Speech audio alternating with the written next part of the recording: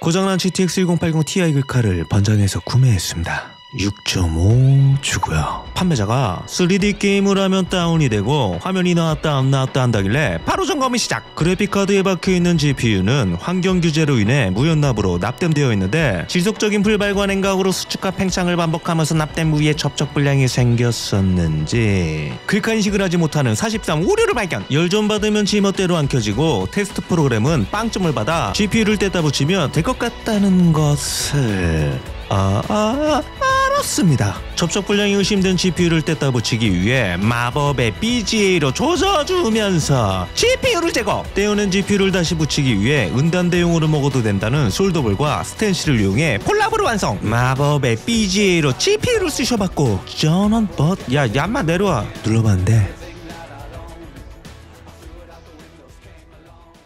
나이스! 밥 먹으면서 했다야.